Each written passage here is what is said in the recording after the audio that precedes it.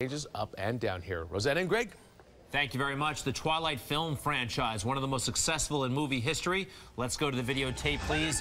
In it, you saw Dr. Coop Cooper.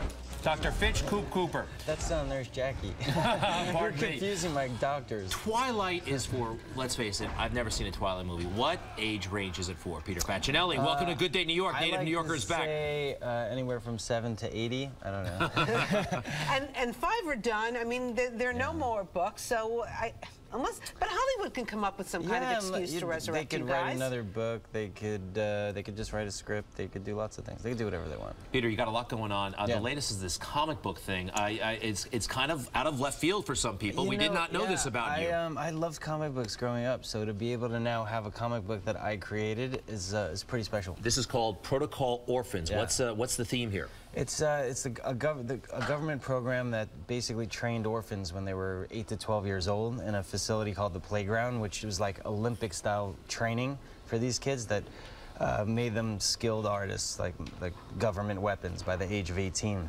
So now we pick up and we're following these five orphaned uh, kids that are 18 to 22, and they're basically saving the world, you know. And they're led by a team leader who's like a father figure to them.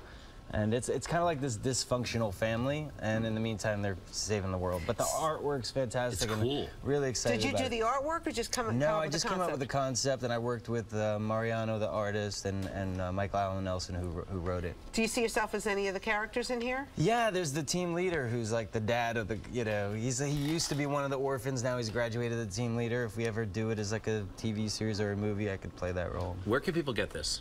Um, I'm doing an autograph signing tonight, actually, at Midtown Comics downtown on Fulton Street at 7:30. So if you're in in the neighborhood, stop by. I love browsing around comic stores. Forbidden Planet, you ever go there? Yeah, love it. Uh, good stuff. All right, see him there in person, and hopefully this will turn into something even bigger than you a never know. graphic. But he's got a lot going on already. He's Yeah. on Glee right yeah, now. I'm doing Glee and I'm shooting Nurse Jackie at the same time. how, how does that work out? One shoots in New York, one shoots in LA. So every once in a while, I fly back and do a, a Glee episode, and then come back to the Nurse Jackie set.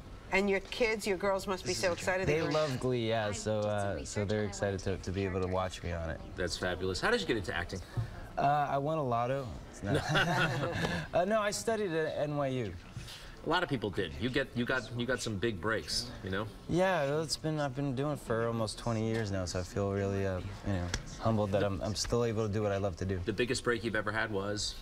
Um, I don't, I don't even know. I guess uh, the first big movie I ever did was Can't Hardly Wait, you know, which was a big. It's still like a, a, a teen cult movie. I mean, uh, people always throw quotes from that movie at me all the time. So you, you grew up in, in Queens, right? And now your family's living on Long Island. Yeah, South Bellmore. So when you come back to town, what do you like to do? What do you miss that you know you don't have because you, you live in Hollywood Uh, I now, don't right? have mom's cooking in Hollywood, so I always go to mom's house. She's a she's a good cook. What, what's her specialty? She cooks a good risotto. Really? What about White Castle? They don't have that. They don't They have don't that in have LA. that there, you know. No, but they have the In-N-Out burger. They have In and Out, but I'm not big on In and Out. I still like the White Castle. Yeah, why do they get so crazy about In and Out? What's so special about it? I don't know. I don't know, but I guess uh, you have to be from LA to know. I don't know. Uh, besides meeting you tonight uh, i- in Midtown, where can people buy the comic book? Uh, any comic book store. You could probably get it at Forbidden Planet too. Mm-hmm. Yeah. Did you like Star Trek as a kid? I loved Star Trek. as a The original, right? Yeah. Better than Next Generation. Yeah. How's Edie Falco doing, by the way? Because She's you're with Nurse fantastic. Jackie, right? Yeah, I, I love working with her. She's very sweet, and uh, she makes my job so easy because she's so talented. You know. Well, Peter Facinelli, it's great to see you again. Good luck. Oh, did you see this on? President Bush was on Jay Leno last night. Was he? Yes, and he not see that. presented him with a painting. It was pretty, pretty wild. The president now paints. You saw that earlier, I, right? Yeah, I didn't realize that he was a painter. I, see, you're not the only What- one with what, artistic. What, what did he paint? He painted it- Jay was it- Leno. oh, okay. Because I thought it was like po- poker Yeah. dogs or something. Have you ever been on Jay Leno, Jay Leno show? No, I haven't. Well, you better get on I soon know, because he's get uh, on soon. Jay, moving on. Come on, I gotta be on before you go. I mean, how many shows, how many movies do you have to be on, I don't know. I should probably be on by now. That's so funny. Well, Peter, it's so nice to have you here. Thank you for having Don't me. forget to go see him tonight. We'll put the information on our website where you can go see Peter tonight. Peter, thank you. Thank you, sir.